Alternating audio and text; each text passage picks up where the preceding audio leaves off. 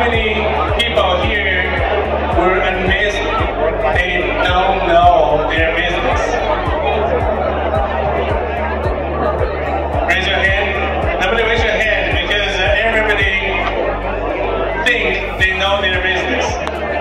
Is that correct? Because actually the question is in which level you're gonna know your business. For example, if you own an ice cream shop, you have uh, several one of them, and you own an ice cream shop for three three flavors in one shop, five flavors in another one, and ten flavors from the other one. So let me ask you a question. So, which flavor is the most favorite flavor for which location? Maybe you want to do a Groupon advertisement. Which flavor, what day? You should send over the coupon. If you don't know that, that means at that level you don't know your business. And if you do, you will beat your competition. That's why we here come to play. So, uh, Prime Scales, we started the scale company, which scale is a sensor of data information. So, we are actually missing a lot of data information every day in our daily operations because we don't have a device to record them. For example, if, if you run an ice cream shop, you don't know which flavor goes the best. So you lose the information to make the decision which one you should promote or which one you should drop. So there are two parts of the data automation. One is the input. So the one we just talked about is the input of your information, which is data collection.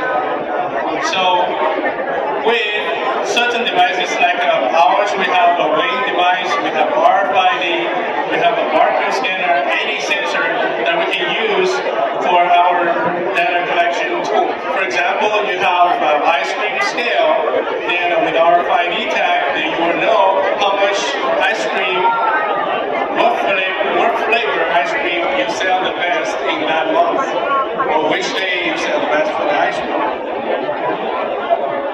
And you can make a decision when you send over a coupon, you can send over to the right person at the right time with the right picture of that flavor. So that's why we need an input information. That's really important. We have a lot of operation in this business.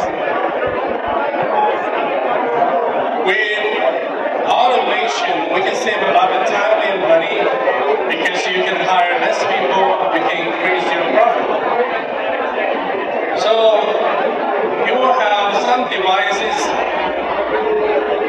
a cell phone with RFID tag. It will become a powerful tool for business. It can save you time and money.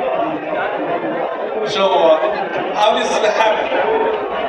In every business, there is part of machine work and there is part of labor. So our job is to redefine the business of your own so we can redefine the whole, whole economic, economy mainstream.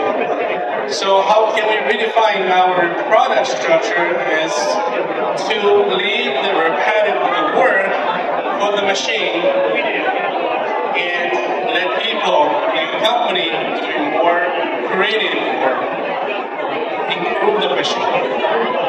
In that way, we can improve our product structure and business operation. So, like our super count scale, we can count 10,000 students in two days, while the traditional counting scale will take you two months. And how can we compete with the big companies like ABB, which is doing automation? Because our structure of running these smart items is different. First of all, we work on the workflow. Technology is good, but workflow is more important. It goes before technology goes into the place. So if the workflow is wrong, you go there slow. You we're going to get the best way to have the operation running. So we work on the workflow, we spend a lot of time, we use our best intelligence on the workflow. Second, we use anything that's available in our pocket, such as a cell phone, tablet, or computer to do the calculation.